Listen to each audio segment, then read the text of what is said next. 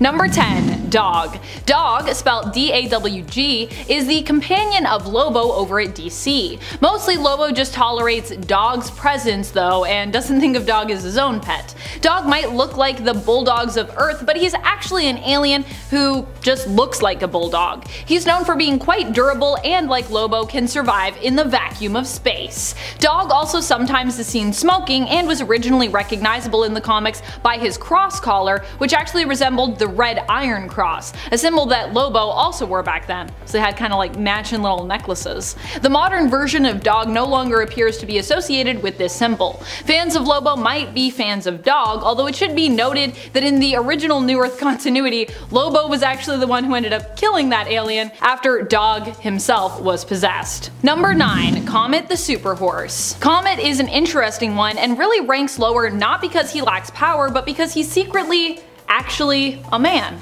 Or a centaur really. A centaur that was accidentally turned into a full-on horse by Circe, but who could also become a human whenever a magical comet flew by.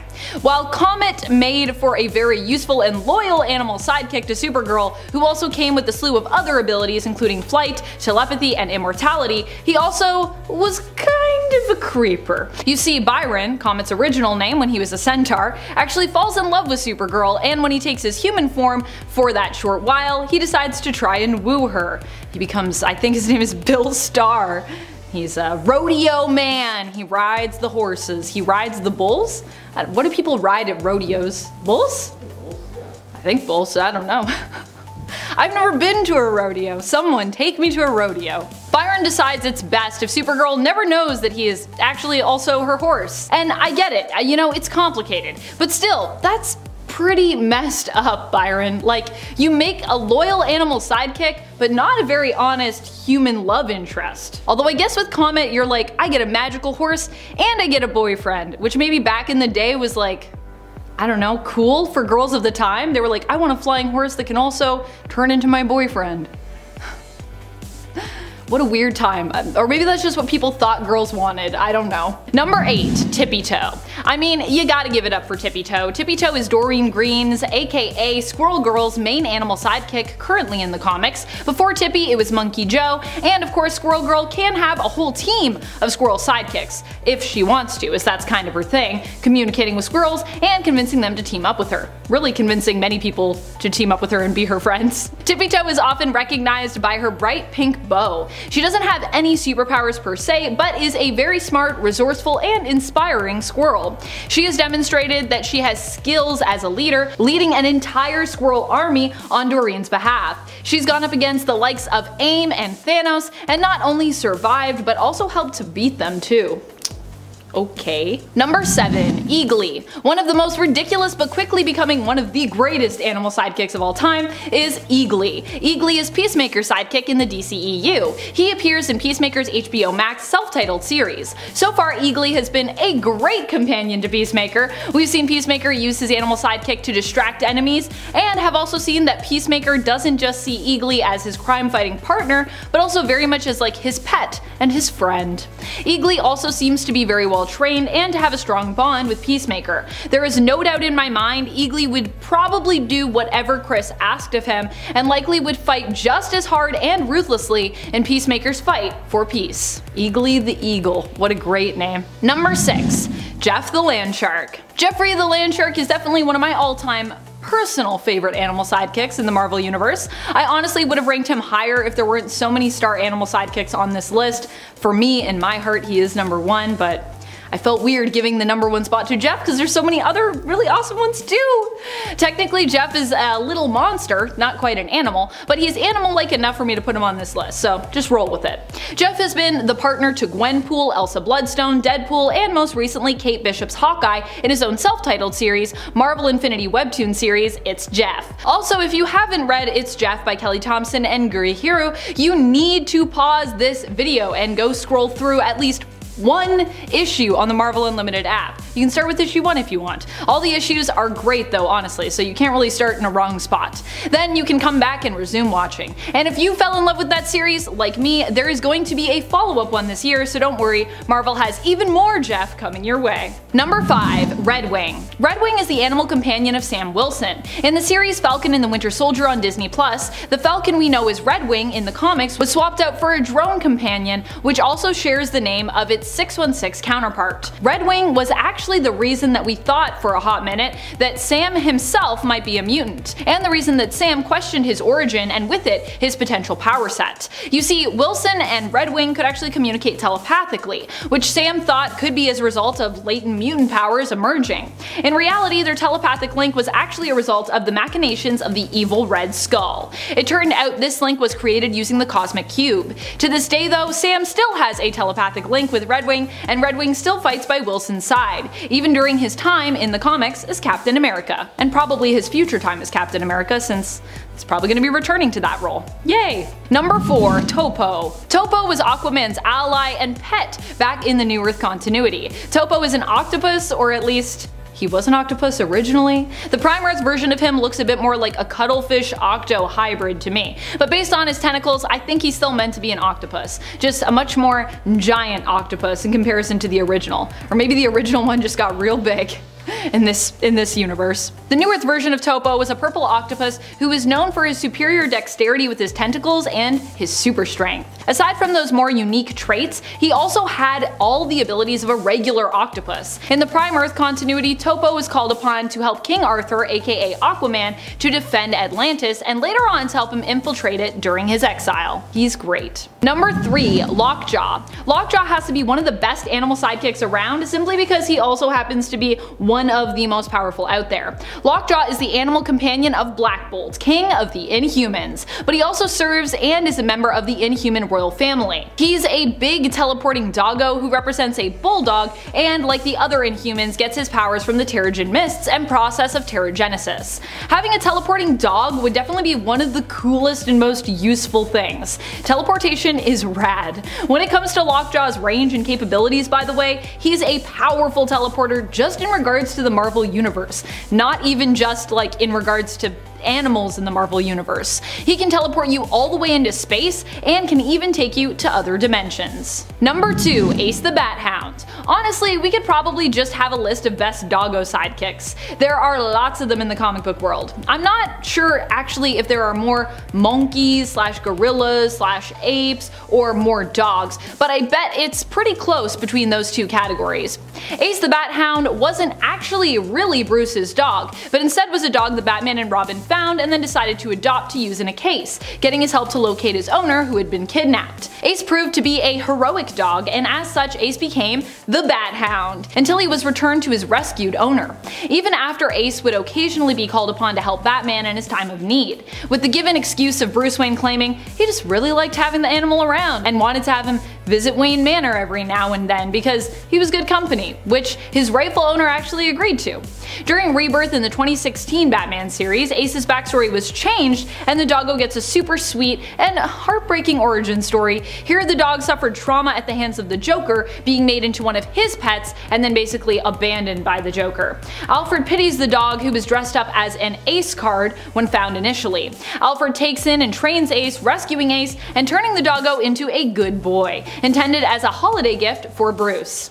Although that part of Ace's story goes right over Bruce's head. He's like, you didn't get me a gift, Alfred. Alfred's like, I mean, I just trained this dog and it was a lot of work, but Sure, sure, uh, yeah, I forgot. I forgot to get you a gift, Bruce. Thanks. Number 1. Lockheed. Lockheed obviously is one of my all-time favorite animal companions, and there are surprisingly a lot of them that I was able to reminisce about while writing this list, and a lot of them that I love, many who didn't even make my cut this time around, but honestly who still deserve to. But above them all, in my mind, is Lockheed. Though to be honest, the question of which Lock is the best from Marvel between Lockheed and Lockjaw is a pretty intense debate. Both are great animal sidekicks and Lockjaw is just super OP as a teleporter in general. Lockheed isn't technically an animal and isn't as powerful as a human's best friend Lockjaw, but what he lacks in power, he makes up for in heart and in stealthiness. Lockheed was actually once an agent of S.W.O.R.D. and was basically Abigail Brand's undercover agent who was secretly keeping an eye on the X-Men at the time. However, Lockheed still will probably always remain most loyal to his bestie, Kitty Pryde, aka Captain Kate. He would defend her to the ends of the earth and actually left his homeworld, his civilization, and his fiancée behind just to go on adventures with Kate. He's like a little space dragon, which I guess makes Kate Marvel's mother of dragons? Either Kate or Jubilee I think deserves that title. Or both of them can share it, I'm fine with that since Jubilee's son is also literally kind of a dragon. Number 10. Outcast. Who is Hitmonkey really? Well, he's a monkey who's an assassin. Yep, it's really that simple. But how did he become an assassin? Well that happened as a result of him becoming what he hated the most, really. He was part of a tribe of monkeys who took in a wounded assassin who stumbled kind of into their home. They nursed the assassin back to health, but Hit Monkey, who then was, you know, just known as a nameless monkey, disagreed with this decision. He studied the assassin as he practiced and built back his strength, and ended up adopting his sense of violence to try and basically fight back against the other monkeys whom he disagreed with, because he wanted to protect them really. As a result, he was banished from his tribe, because they were like, we don't like your violent ways. No no no. No monkey, get out. Number 9. The Assassin. The assassin we see in the trailer who uses snowmen for target practice, that's the assassin who came to his tribe, and who Hitmonkey studied and was kicked out for emulating. In the comics, the assassin is never given a name, but has some kind of spiritual connection to Hitmonkey, and after he dies has unfinished business to carry out with Hitmonkey as his aide. Just like in his origin story from the comics, the assassin in the trailer warns Hitmonkey about following in his footsteps, and after his death returns in spirit form to guide Hitmonkey. And friends, before we move on to this next spot, if you are loving this list and you want to learn even more about Hitmonkey as the show goes on, be sure to show your love and show your support by giving this video a thumbs up. Number 8. Vengeance what turned him into a hitman? Well, the missing part of the origin here is that after Hitmonkey was thrown out and exiled by his tribe, he actually learns while wandering alone that there are men who have come to retrieve the assassin, hunting him down. Hitmonkey attempts to return home to warn his tribe, but he actually arrives too late. They and the assassin they were harboring are all dead. In a fit of rage, Hitmonkey eliminates all the men sent to kill the assassin, hunting down the last one to escape and his commander and eliminating them as well. From there and out, he was sent down a path that would turn him into Hit Monkey. Number 7. Voiced by Fred Tatasciore is an extremely experienced voice actor who has been actively working in the industry for over 20 years. He will be voicing the star of this series, Hitmonkey himself. Seriously though, Tatasciore's list of credits is so long that I'm pretty sure if we just like ran them all across the screen during this point for you to read, we wouldn't even give you enough time to read them all. He has voiced characters in video games, animated series, cartoons, and English dubs for animes. If you are a hardcore Marvel fan, then you may know him best as the Hulk across the games and animated series that he's voiced in. Hulk is a common character for him to voice. He even voiced the Hulk when the character showed up in the Disney animated series Phineas and Ferb during a crossover episode. Also if you didn't know that happened, that happened. And if you love Phineas and Ferb, like me, you probably really loved that crossover episode. Number 6. Japanese Macaque also known as Nihonzaru in Japanese. Hitmonkey is a Japanese macaque. The Japanese macaque is known for being the northernmost living of all non-human primate species. They are also sometimes referred to as snow monkeys for this same reason, living in places where snow covers the ground for multiple months of the year. Hence why in the trailer we see Hitmonkey and the fellow monkeys living in a snowy region, possibly in the mountains, where they also have access to hot springs. In fact, Japanese macaques are known for enjoying hot springs together as a group, and for rolling up snowballs for fun.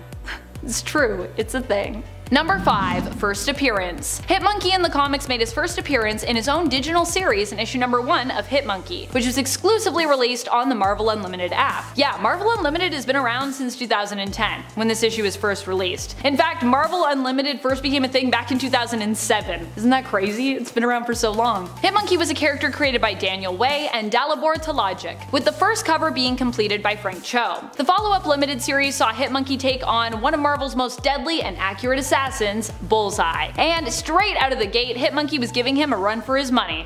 I almost said a run for his monkey money, but I don't think Bullseye has monkey money. What is even monkey money? It's not a thing. Number 4. Lady Bullseye. While in the comics we know that Hitmonkey is faced off with the likes of a deadly villain and also hired assassin Bullseye, in the trailer for the Hulu original animated series about Hitmonkey, there appears another villain who could easily be standing in for him. That would be Lady Bullseye. The question is, how will she be introduced without her male counterpart? Lady Bullseye actually became an assassin herself because of Bullseye, who appeared to save her when she was just a child appeared to save her. Appeared being important there. Maki Matsumoto, as she was once known, was a prisoner of the Yakuza. They had despicable plans for her, but were stopped by Bullseye, who had a contract to basically kill her captors. The sight of him killing them in front of her eyes inspired Lady Bullseye to become a killer herself, and so she set down a path that would lead her to becoming the villain she's known for in the comics today. Number 3. Fat Cobra Speaking of villains that we'll likely see Hitmonkey face off against in the Hulu animated series, another one that shows up in the trailer appears to be none other than Fat Cobra. Fat Cobra is an Iron Fist villain with a long and complex history. He's been an opera singer, a murderer, a villain, a martial arts teacher, the sidekick of Ulysses Bloodstone, fought in multiple wars. You get the idea, he's done it all. His main objective in life was to defeat Xiang Yao, and when he finally accomplished this, he became one of the seven immortal weapons, which is one of the feats that he's known for today. Fat Cobra's true given name still remains unknown to us, and in fact, much of his own history was forgotten to him. It took a biographer of his to remind him of his own lengthy backstory and all that had happened before. Unlike Lady Bullseye, Fat Cobra is not just a super skilled killer and martial artist, he also possesses chi-based powers that grant him super strength, durability, longevity, healing, senses, and even the power to sometimes teleport. Number 2. Imaginary?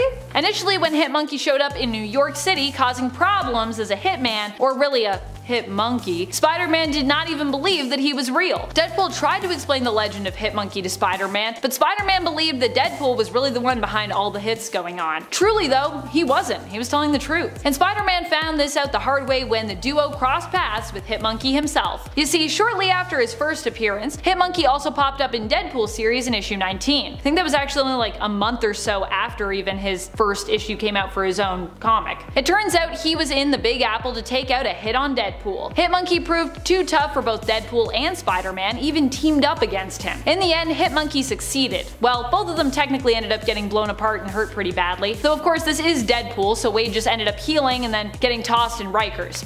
Poor Deadpool. Number 1. Ladies Monkey?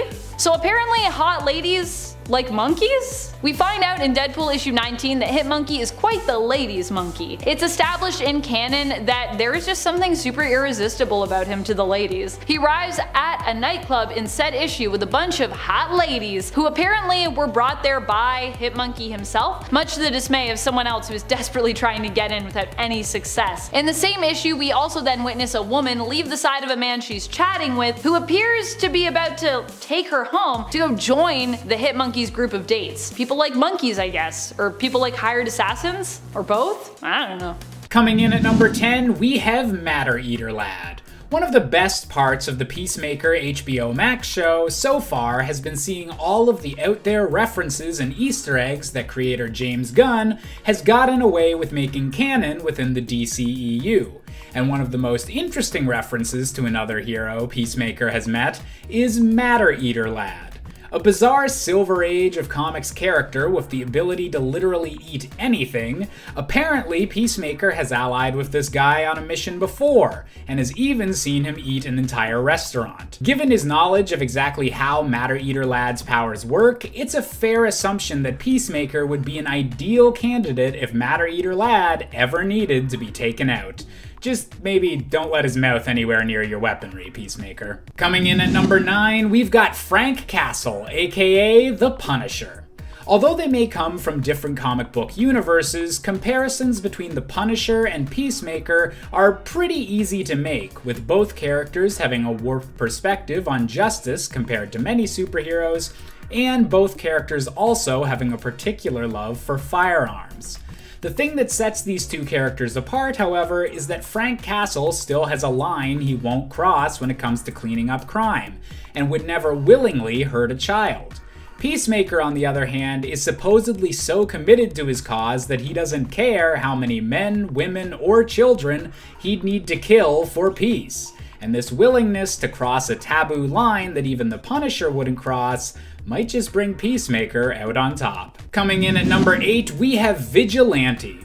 While Vigilante and Peacemaker might be an odd pair of friends with a weird but accepting relationship on the show, in the comics, they're usually portrayed as much more straightforward rivals. Possessing no superpowers but a master in all sorts of weaponry and martial arts styles, Vigilante and Peacemaker are usually pretty evenly matched when they're positioned against one another by opposing forces but given the extra abilities given to him by his variety of helmets, Peacemaker has just a few more tricks up his sleeve than his sometimes partner, sometimes rival. Coming in at number 7, we have Bat-Mite. Another character made canon in the DCEU by an offhanded reference, Bat-Mite is a troublesome imp from the same fifth dimension as the Superman villain Mr. Mxyzptlk. Except this guy is a huge Batman fanboy and loves to be a giant nuisance to the Dark Knight. Given Peacemaker's annoyance at being compared to such a tiny and infuriating character, it seems likely that he'd try to find a helmet specifically to take on a fifth dimensional villain, which sounds ludicrous, but we've already seen that Peacemaker's father has space warping technology in his secret supervillain bunker. Whatever the case, Peacemaker's brand of violence would definitely be a shocking change of pace for the character of Bat-Mite, so maybe the imp should watch his back after getting mentioned on the show. Coming in at number 6, we have Aquaman. As a superhero, Aquaman was a bit of a joke character for a long time before more recent incarnations have begun to successfully inject just the right amount of seriousness to the character. However, that doesn't stop Peacemaker from saying some not safe for work things about Aquaman on the show, and given both John Cena and Jason Momoa's amount of muscle, that would be one hell of a showdown to see. When asked in a promotional interview if Peacemaker could beat Aquaman in a fight, John Cena replied that Aquaman's fitness was one of the only superheroes that gave him pause. However, given how the Peacemaker team was able to handle a gorilla in last week's episode, maybe animal superpowers aren't the best defense against a hero as violent as Peacemaker. Coming in at number 5, we have Rick Flag. Spoiler alert if you haven't seen James Gunn's The Suicide Squad yet, but one of the better twists of the movie and the reason Peacemaker's solo series was such a surprise is because Peacemaker was such a fantastic villain in the film. Ordered by Amanda Waller to prevent information on Starro from getting out to the public, Peacemaker is forced by his twisted moral code to fight and eventually brutally kill a hero he admired, Rick Flag, who is disgusted that he got beaten by a man such as Peacemaker.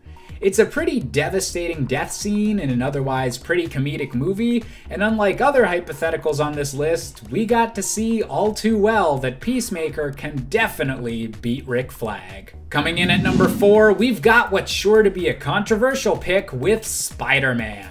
No, these two characters have never crossed over and interacted before, but if the corporate overlords ever allowed it, I'm not sure I would bet on Spidey. Peter Parker would obviously not agree with Peacemaker's brand of justice, given how often he gets into conflicts with other violent vigilantes like Punisher and Daredevil, and would likely try to defeat Peacemaker if they ever met. However, unlike most heroes, Peacemaker wouldn't be startled by the fact that Spider Man is just a teenager. As we mentioned before, Peacemaker is willing to fight and kill anyone in the name of peace and this means the usual moments that older members of the Avengers would have of expressing worry at Spider Man's youth would mean absolutely nothing to Peacemaker. So, uh, hope your spider sense still works, Peter. Otherwise, Peacemaker is coming for you. Coming in at number three, we have Batman. Unfortunately, due to YouTube's monetization policies, I can't repeat any of the colorful language that Peacemaker uses to describe Batman on the show, but it's safe to say that Peacemaker isn't a fan, whether out of genuine dislike or because of jealousy at the fact that Batman is apparently a much more beloved figure in the DCEU now. Whatever the case, Batman actually would have a hard time dealing with an individual like Peacemaker because of the vast difference in their vigilante styles. Batman refuses to kill, whereas Peacemaker is all about killing in the most over the top and gratuitous ways possible. Whereas Batman would be trying to capture Peacemaker alive, Peacemaker would be willing to blow up an entire building just to fry the bat. And while you can argue about the morals of being a superhero, Peacemaker's brutality just might take the win here. Coming in at number two, we have Steve Rogers, aka Captain America. In a way, the modern incarnation of Peacemaker can be seen as a commentary on patriotic superheroes like Captain America, showing just how terrifying someone willing to do literally anything for their country or ideology would be if they also dressed up in a colorful helmet and costume.